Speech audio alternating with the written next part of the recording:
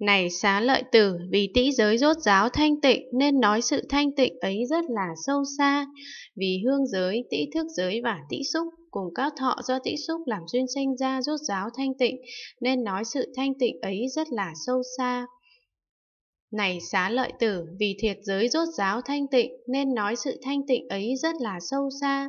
Vì vị giới, thiệt thức giới và thiệt xúc cùng các thọ do thiệt xúc làm duyên sanh ra rốt giáo thanh tịnh, nên nói sự thanh tịnh ấy rất là sâu xa. Này xá lợi tử, vì thân giới rốt giáo thanh tịnh, nên nói sự thanh tịnh ấy rất là sâu xa. Vì xúc giới, thân thức giới và thân xúc, cùng các thọ do thân xúc làm duyên sanh ra rốt giáo thanh tịnh, nên nói sự thanh tịnh ấy rất là sâu xa. Này xá lợi tử, vì ý giới rốt giáo thanh tịnh, nên nói sự thanh tịnh ấy rất là sâu xa. Vì pháp giới, ý thức giới và ý xúc cùng các thọ do ý xúc làm duyên sinh ra rốt giáo thanh tịnh, nên nói sự thanh tịnh ấy rất là sâu xa. Này xá lợi tử,